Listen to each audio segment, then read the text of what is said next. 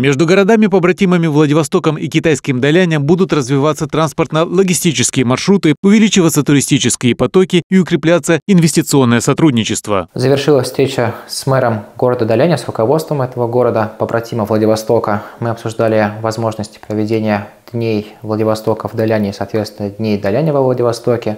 Обсудили возможность интенсификации, э, увеличения количества э, авиарейсов в наши города предложили рассмотреть э, возможность Даляне выступить хабом не только для северо-востока Китая, но и для стран Северо-Восточной Азии, для того, чтобы можно было через этот центр уезжать, улетать из Владивостока в другие Э, страны. Также российская сторона предложила китайским коллегам принять участие в реализации инвестиционных проектов. Мы предложили рассмотреть возможность строительства нового порта в Хасанском округе, в поселке Славянка, находящемся буквально в 65 километров от э, границы, от погранперехода Краски-на-Хунчунь.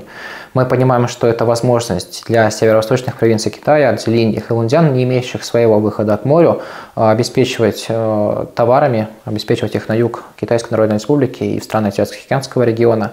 И пригласили коллег обсудить предметно эти проекты к нам на инвестиционно-промышленный форум, который пройдет уже в ноябре 25 числа во Владивостоке. Напомним, что в июле этого года между Приморским краем и провинцией Леонин подписан меморандум о сотрудничестве между регионами. Ярким результатом укрепления и практической работы стал прямой авиарейс, который связал Владивосток и Далянь.